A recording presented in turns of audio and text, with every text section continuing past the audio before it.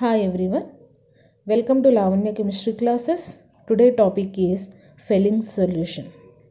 The Fehling solution this topic is from aldehydes, ketones and carboxylic acids grade 12th. What is Fehling solution? The Fehling solution how it is acts as oxidant. Fehling solution Thus, it is an alkaline solution of copper sulfate and Rochelle salt. Rochelle salt, the chemical combination is sodium potassium tartrate. Sodium potassium tartrate, it is called it as Rochelle salt. An alkaline solution of copper sulfate and Rochelle salt is called it as Fehling solution. When heated with aldehydes, the Cu plus 2 ions of Fehling solution oxidize aldehydes to carboxylic acids.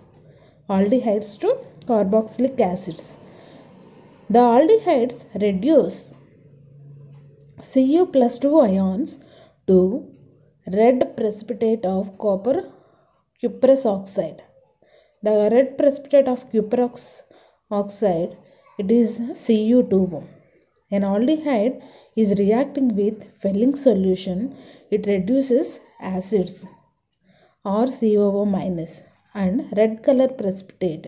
The red color precipitate is indicate term cuprous oxide Cu2O and some water molecules or CHO plus 2 Cu plus plus 5 OH minus ions. These are Fehling solution. Aldehydes reacting with Fehling solution, it produces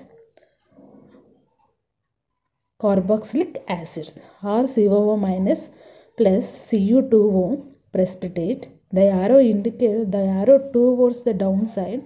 It indicates precipitate. So the cuprous oxide is in the form of red color precipitate and some water molecule.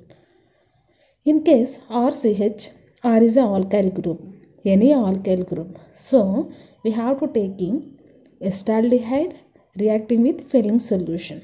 Acetaldehyde reacting with Fehling solution, it produces acetic acid and red color precipitate that indicates cuprous oxide and 3H2O. This is Fehling's solution reaction test. Ketones and aromatic aldehydes do not give this test. Ketones and aromatic aldehydes do not give this test. That means aromatic aldehydes are benzaldehyde.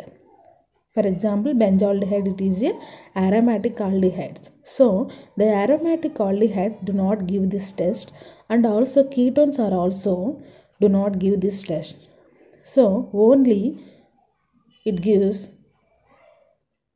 alkyl aldehydes only. Aliphatic aldehydes. So this is called a called Fehling solution and Fehling's reaction test. Thank you. Please subscribe and share